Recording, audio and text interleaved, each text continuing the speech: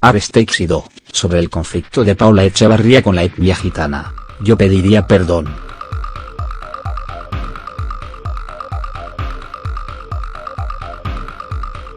La presentadora fue relacionada hace unos meses con Nabil Bustamante, por lo que suele ser preguntada por los asuntos referentes a Paula Echevarría, ex mujer del cantante. Así, la periodista se ha referido a la controvertida comparación de la actriz y ha declarado que ella pediría disculpas.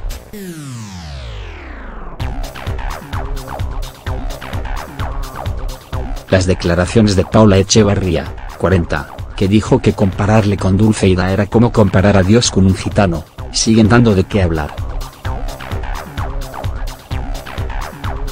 La última en pronunciarse al respecto ha sido Aresteixido, 31, que fue preguntada sobre el asunto en una entrevista realizada por 10 minutos. La joven quitaba hierro al asunto, pero daba un consejo a Paula, no sé si ha pedido perdón o no.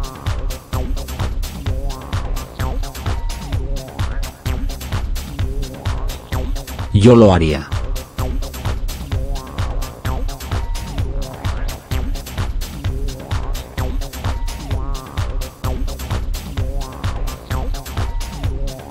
Yo me he equivocado muchas veces y, evidentemente, cuando te equivocas, hay que pedir perdón, manifestó la periodista.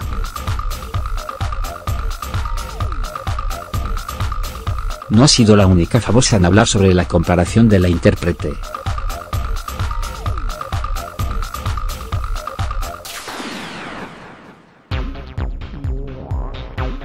Su compañera de profesión, Elena Furiase, ha tratado de echar una mano a la actriz, no es el comentario más acertado, pero no creo que Paula lo hiciera con ningún tipo de maldad.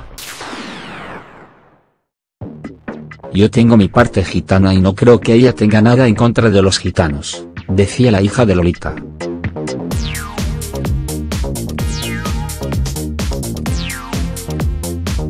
Sea como fuere, ni Furias y han sido tan duras con Echevarría como lo fue Joaquín Cortés, quien cargó duramente contra la actriz en su cuenta de Twitter, ahí se ve el nivel cultural de las personas, la educación, la falta de respeto, y sobre todo, la falta de humanidad.